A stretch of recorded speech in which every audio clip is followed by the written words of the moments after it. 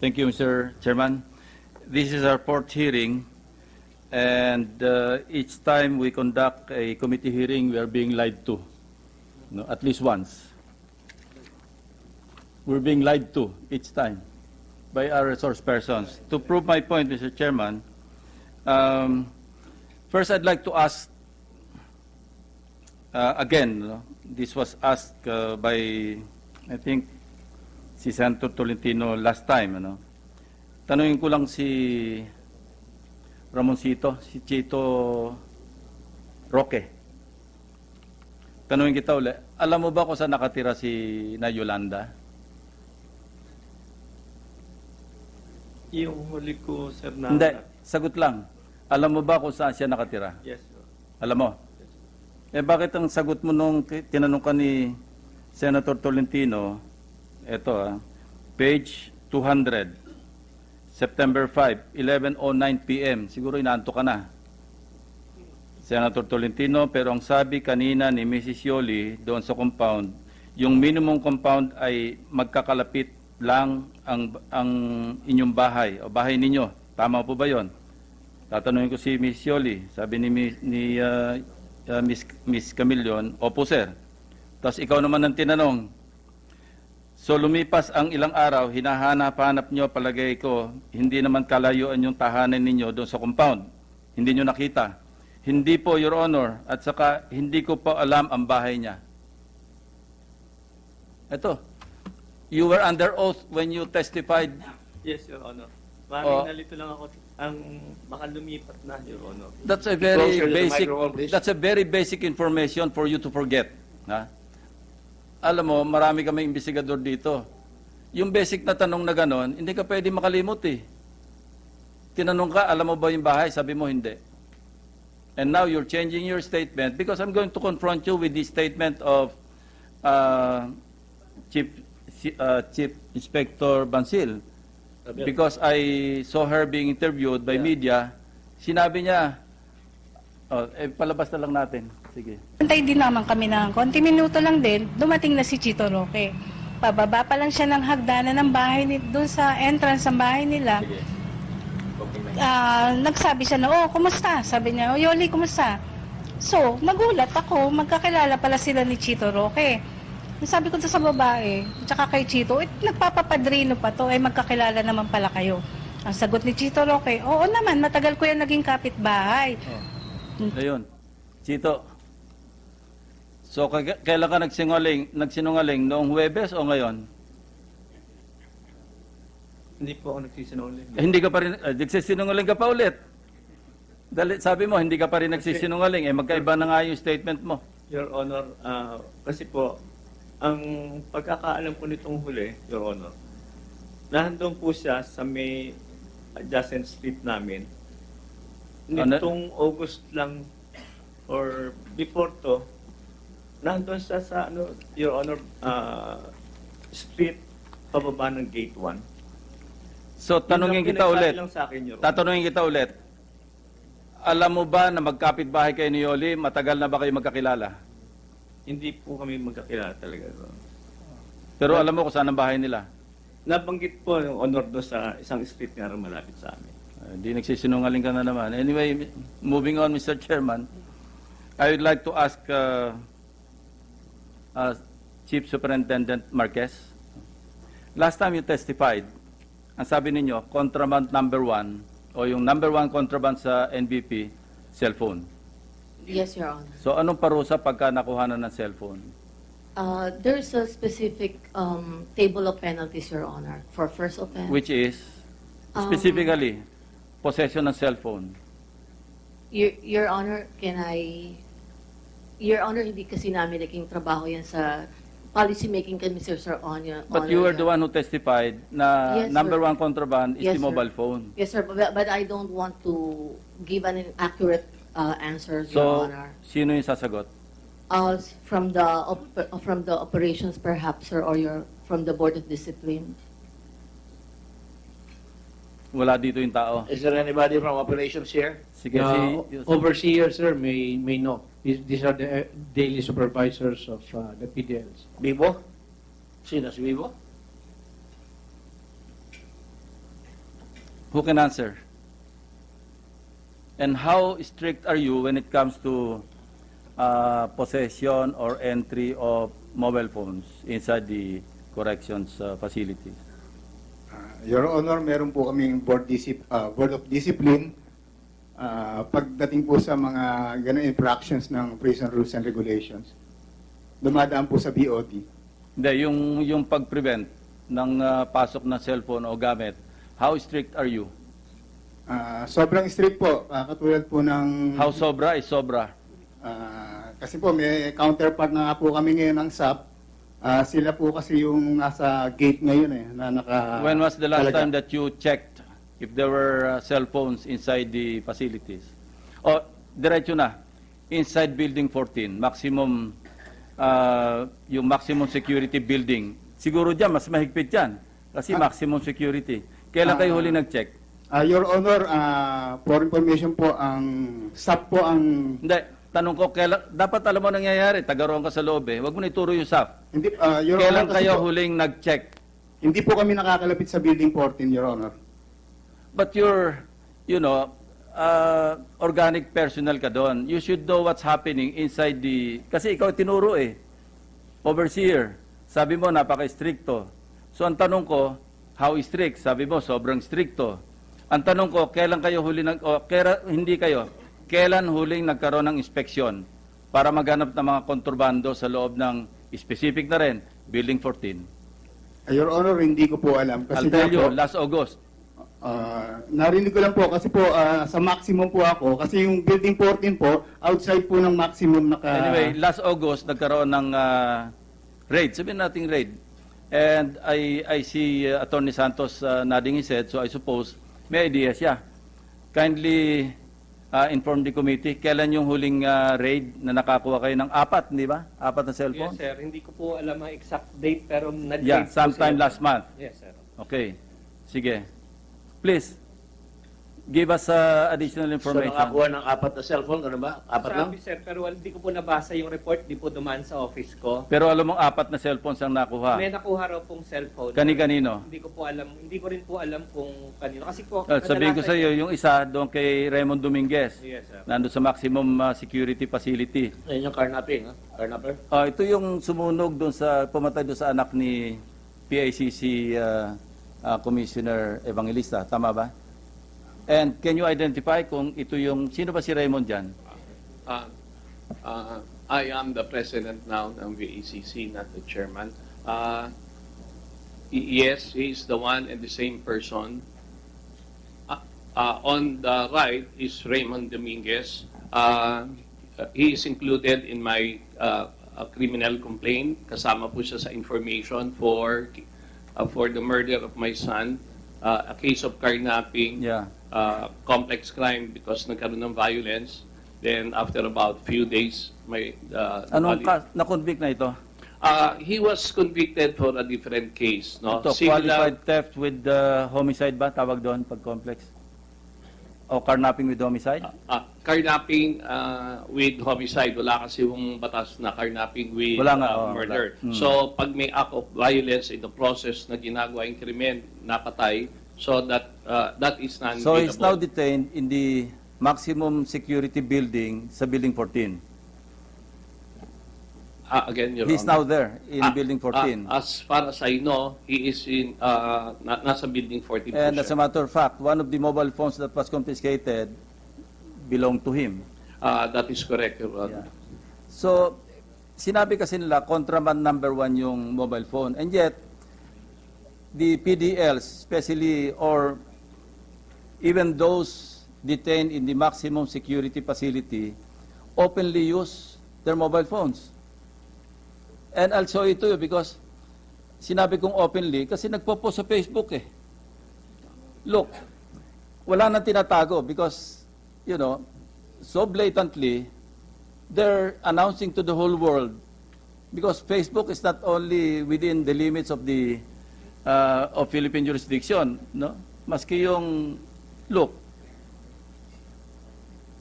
I miss you. Fairly recent, huh? 15 November 2017. Yeah. So, is this the kind of, you know, uh, strict uh, strictness in the policy uh, of containing uh, the entry or preventing the entry of contraband items, especially cell phones, mobile phones? Ayan, no. There are other prisoners who openly post uh, on Facebook yung iba, high-profile cases, I'm telling you. And I don't think, I, have I don't have the permission from the Senate President if I could uh, present uh, other evidence na talagang open masyado. Uh, Mr. Evangelista, ano po ba ang pagkaalam nyo rito? Sa, Okay. Ang pagkaalam ko what's po, the background behind itong mga pictures na ito? Kasi sinasabi nga natin, di ba? A picture paints a thousand words. that is correct. So, kasi meron dito mga ibang mga postings eh. Kindly walk us through if you have the knowledge, please. Ah, sige po. Ah, kanina, earlier, um, may presentation doon, yung may skull, may bungo.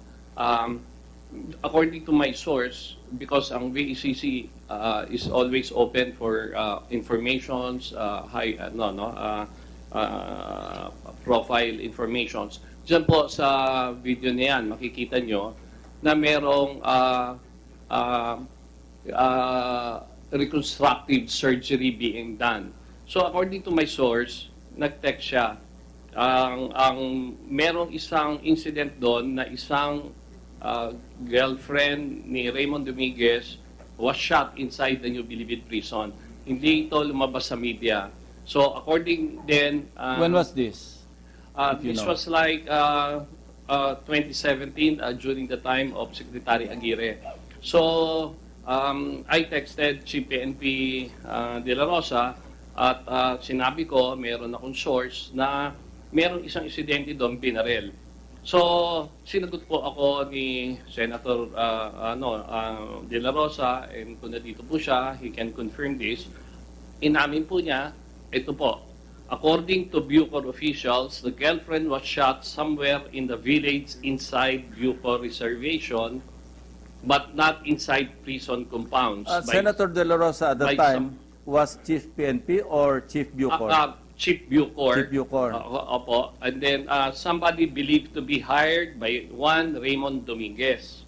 So, um, kinonfirm po niya yon, no? So, ito po, nabaril dito yung girlfriend, uh, luckily, nabuhay siya.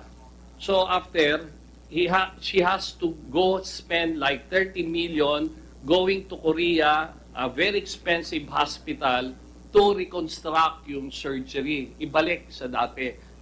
Um, then, may mga photos din na nag-ano sa akin because of the Facebook. Yan po, yung mga photos. So, ano ba ang ibig sabihin nito? Somebody who is committed sa New Building 14 can provide the Even- medical attention all the way to Korea. Nagpunta po ako sa NSA uh, and uh, Secretary June Esperon can ano no you can easily call them. Uh, and I'm calling the attention also of Aaron Aquino. Na nag-compare kami. Ang laki-laki pala yung hospital na yan you'll be spending a lot of money going there.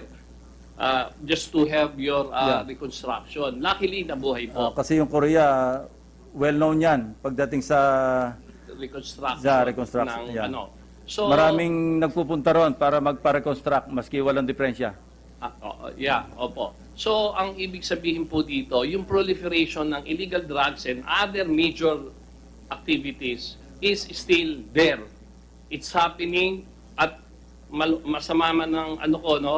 ah, compromise po ang Building 14. Yeah. As merong source na sinasabi na merong apat na cellphone nakuha inside Building 14. Paano Kindly, nakakapasok yun? kindly check yung mga naiwan kasi wala na si Yusek Nick doon, ano? Uh, Maria P. Marquez and whoever who are still in uh, the Bureau of Corrections.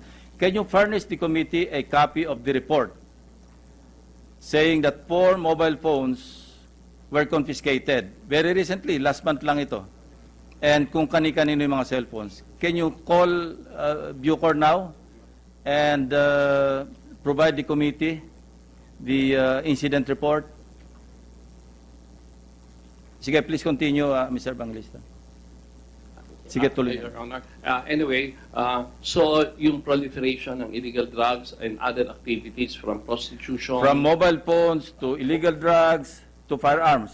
uh, Nandyan lahat. uh, yeah, probable. Pero hindi ko na-encounter yung firearms. But no, then, pero ang nabaril sa loob ng facility ng Muntinlupa eh. Ah, yeah, oo. Uh, in rela- relation to that, tama po kayo. So, ang mabibigat po, um, according to PIDEA Director, itong mga ganitong klaseng cellphone, ang ang ano nito maipasok mo lang to is about 2 million to 2.5 yung mga 2G 3G that's about 500 to 700,000 at uh, nag-uusap kami nila Aaron uh, Aquino na um, ang tanong ko eh kung ganun bakit hindi nyo walang action hindi nyo uh, inaano eh ang sabi nila yung PIDEA may office daw doon way back biglang tinanggal So, it's all up to you kung anong ibig sabihin nun, bakit tinanggal.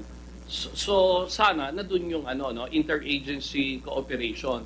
Simply because PIDEA is tasked to address yung proliferation ng illegal drugs. You know, um, um, I think the, the war on drugs of the president uh, is not, will fail at the end of the day simply because sinasabi natin na lahat ng intelligence community dito 80% of illegal drugs is emanating inside the New Bilibid prison. Yeah. And that was told to me by no less than General Magalong at the time because they, he conducted the raid inside Muntinlupa upon instruction of Senator uh, then Secretary De Lima and he told me na talagang yung direction, yung instruction ng mga movement ng drugs outside the National Bilibid or anywhere in the country, doon ang control sa loob. And they can only do that with by using mobile phones kasi wala silang communication except mobile phones. And I heard na gumagastos tayo para sa jammer, di ba? Tama po yun. Oh, meron naman silang ah, tawag doon. Kasi walang katapusan naman yung technology. eh. Pagka meron kang ah, scrambler, meron kang jammer. Pagka meron kang ah, meron namang descrambler. So padamihan na lang ng pera ang labanan. And I also received are you through or you, you want to Ah, ah, I- Sige, ah, please. yeah. And, and also Continue. your honor no as a suggestion no ah, kasi nabanggit po niyo yung mga jammers lahat ganyan. Ah, according to my source, yung mga jammers na yan pinapatayan may oras. Pagpatay niyan lahat sila gamitan And who controls phone. the jammers? Ah, eh, yun, Bucor. ah, it is for them to ah, answer that. Tony no? Santos, sino may control ng So lahat may kita pati yung pati yung technician. Ta- Tama po yun. So, I suggest may uh, 24-7 CCTV nakafocus doon sa jammer na yon. Uh, masisira rin yung CCTV. Balamang, banggain yung poste sa Miral, na Meralco, brown out. Then, I suggest magkaroon ng ano, uh, backup supply ng power. So, in uh, in that way, alam mo yung mga ganong mga uh, remedies dapat. Kasi ito embedded to eh. Yung culture of corruption, they do it with impunity. Kaya nga yung war on drugs of the president, which is very close to his heart, baka hindi manalo eh. Kasi 80%, address mo yung proliferation ng illegal drugs sa New Bilibid Prison, then 80% we are winning the war against the drugs. Yeah. Itong mga personalities nito, mga convicted to. Kaya kami po, ako po ang tinatayuan ko, thousands of victims of heinous crime. From day one, tinayuan namin yan. Outside of the case of my son, lumaban po ako. Ang threats ko dito, kaliwat kanan. From BID, immigration, alam po nyo yan. Um, mga extortion, ako, ano, lahat. Lumaban na ako kasi at the end of the day, anyway, I'm 63 now. Ah, kami, I'm willing to take the bullet just to see victims of injustice get their day in court. Alam po nyo, ang team song namin, nung linilibing si ah, Lauro Visconde, The Impossible Dream. Now, for the record, pag ako linilibing, ang gusto kong tugtugin nyo yung The Unreachable Star. Ang hirap ho ng laban. Para kang tumutulay sa alambre just Well, to get ah, that Your, your point is, nanalo na kayo sa korte, na-convict na nga, and yet they live like kings inside the prison facilities. Correct. Ang So court- justice has not been rendered because after all the you know uh, the, the the difficulties in uh, having these uh, uh, suspects convicted eventually or finally, pagdating naman sa Muntinlupa, masarap pa rin ang buhay. Uh, yeah, I- Your Honor, that's the main reason why kami ay, we are crying to restore the death penalty. Isang reason yung GCTA is yung congestion. I was talking to earlier. Kasi yung system does not create corruption, di ba? It's people who uh, create corruption hanggang maging systemic na. Andiyan na sa system, mahirap nang awatin. And we also receive reports na marami rin nagsisyabu doon sa loob ng uh, detention facilities, di ba? Nagja-jamming. And I'd like to ask uh, Attorney Santos, have you ever used uh, drugs, Attorney? Have you ever used drugs? No, sir. Not uh, once in your lifetime? No, sir. Oh. Baka makakuha kami ng ebidensya. Pakita ko, baka lying ka na naman. No, sir. I'm going to get that evidence. Ha? Yes, sir. I almost have it. I'm telling you. Because there were reports that you were jamming with the drug lords, Chinese drug lords inside Building 14. Sir, matagal po akong keeper sa loob nung maximum. Anyway, I'm just telling you. No? You're under oath. Yes, sir. And I'm telling you that. Yes, sir. Uh, anyway, Mr. Chairman, yun lang yung points na I'd like to to raise and uh, maybe after after our lunch break we can uh, present the witness of the the Senate President. Of course, the Senate witness for that matter because we issued I understand the committee has already issued a subpoena and we're expecting uh, somebody to Yeah. So if you're having a lunch break, then I will suspend. But if there, yeah, tuloy na lang. Yeah. So, Chief Inspector Bansil, matagal na magkakilala si Chito Roque at saka si Yoli Camilon. Yes, Your Honor. Ayon po sa narinig ko. Sige nga. Yes, Your Honor. Ayon po sa narinig ko. Kanino mo narinig? Sa kanila pong dalawa. Pati kay Chito Roque. Yes, Your Honor. Na sinabi niya sa iyo, matagal na sila magkakilala. Opo. Ito po yung saktong words. Oo naman. Matagal kami naging magkapit-bahay niyan. Ah, Miss Camilon, kasi baka hindi narinig ni ni ah, Chief Inspector Bansil yung testimony niyo rito nakaraan. Ang sabi niyo, nandun kayo sa loob, lumapit sa inyo si ah, Chief Inspector Bansil, hindi ba? Tama. Are you senior inspector? Senior inspector, captain. Okay. Yes, Tama sir. po, sir. Sige, paki for her ah, information and for ah, to remind the members of this committee kasi gabi na kayo nag-testify. Sige, paki-narrate niyo uli. Nung time po na dumalaw ako dun sa asawa ko, ah, February yun po, malapit lang kasi yung opisina ni Mama Bell dun sa pinagtatambayan namin. Nung may mga dalaw po na nakatayo, ah, nakaupo doon, lumalapit po sila Ma'am Bansil. Actually po, At teka, liwanagin, hindi kayo lumapit sa kanya, siya ang lumapit sa inyo. opo sir. Sige. Lumapit po siya sa amin. Siya po ang una kong nakilala bago po kay Sir Roque. Kaya sa loob pa lang po, parang nagkakaroon na po kami ng friendly na usapan doon kasi time to time nga na mayroon mga dalaw doon, lumalapit si Ma'am Bansil. Actually, talagang she as always up for merienda sa amin. Kaya parang naging close kami. Ano eksaktong pagkasabi niya sa inyo nung unang lumapit siya sa inyo? Ang sabi po niya sa akin, kung gusto ko daw po mapaikse yung sentence ng asawa ko, may paraan naman daw po. Sige, tuloy lang. Ayun po, ah, sabi niya meron paraan. So nagkasundo po kami na pinapalo up na kasi ako din ni Mamot na excuse me, Ma'am Boday dun sa pinagsa, pinagkasundoan na presyo kung kailan ko marireach yun.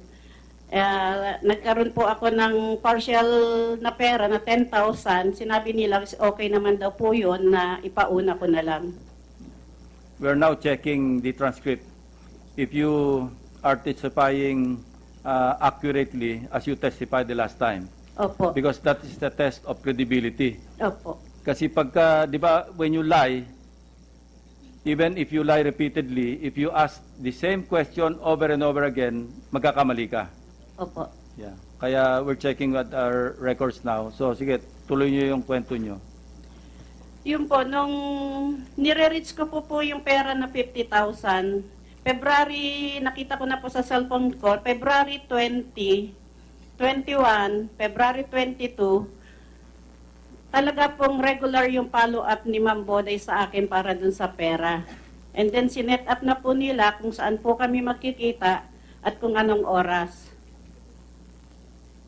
Nung na-find out po nila na talagang on hand ko is 10,000, sinabi nga nila, mas okay na yon Nagkita po kami ni Mama Bel sa Bulaluhan.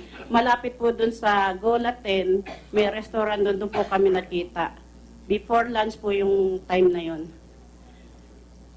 Uh, Chito, Staff Sergeant Roque, how well do you know Yoli Camilon?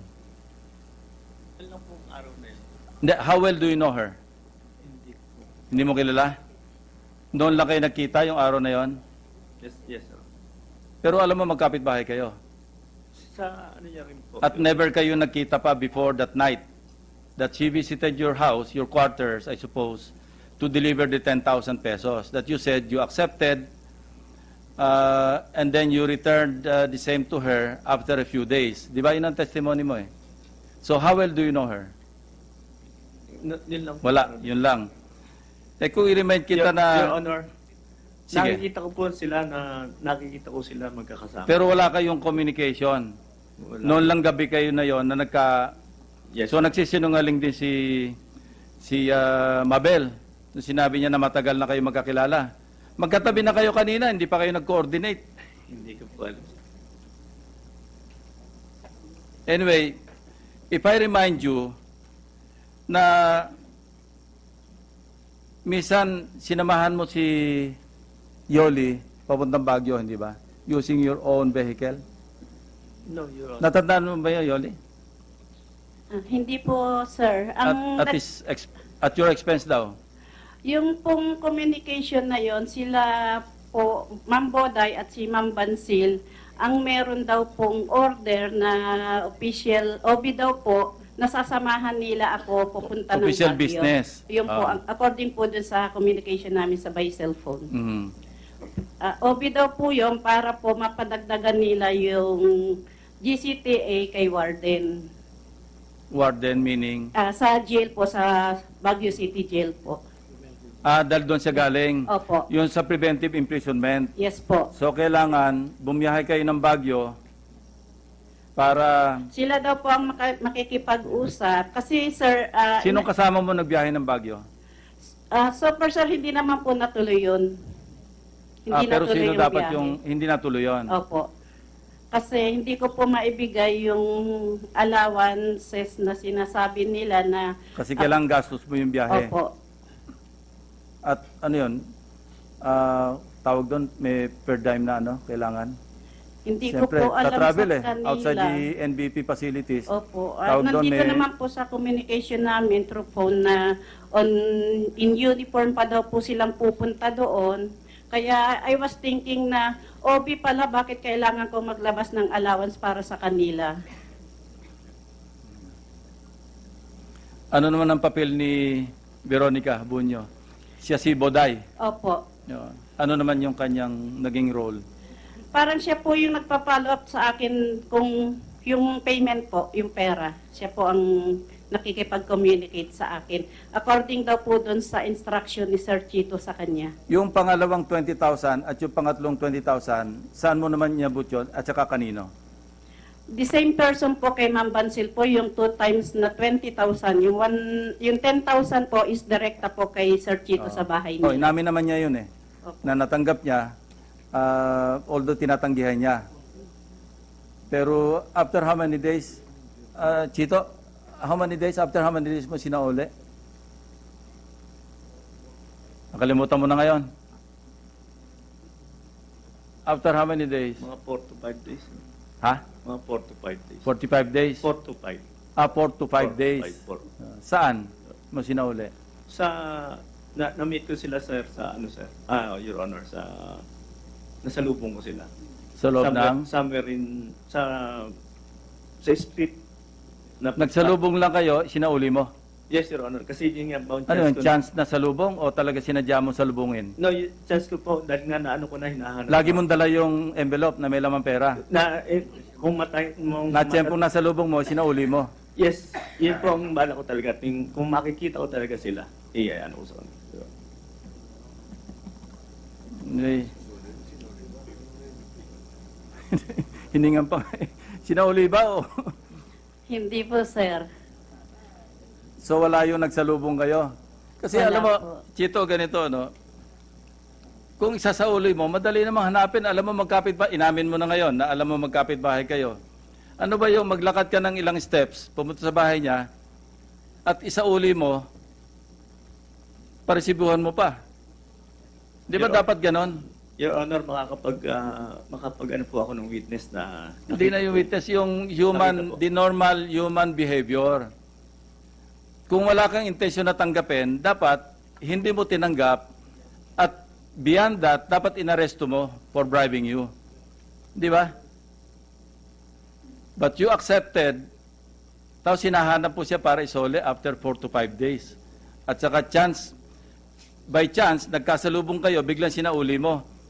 Eh pag pag-aaralan namin ng komite, o maski sinong investigador, yung testimonya mo, mukhang, mukhang hindi pa kapanipaniwala. It's, it defies logic to tell you very honestly. Parang hindi logical yung sinasabi mo, yung takbo ng mga pangyayari. So, I, I suppose, uh, there's always a time for, you know, compunction.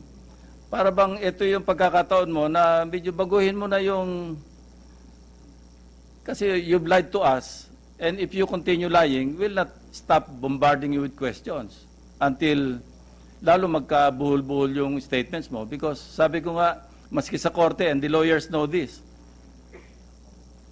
maski expert ka pang magsinungaling, at one point, malalaman at malalaman na kasinungalingan na sinabi. Ay, mahirap tandaan ang kasinungalingan. Ang madaling tandaan, katotohanan. Memoryahin mo yung kasinungalingan, after one year, makakalimutan mo. Unless nilagay mo doon sa notes ng iPhone mo.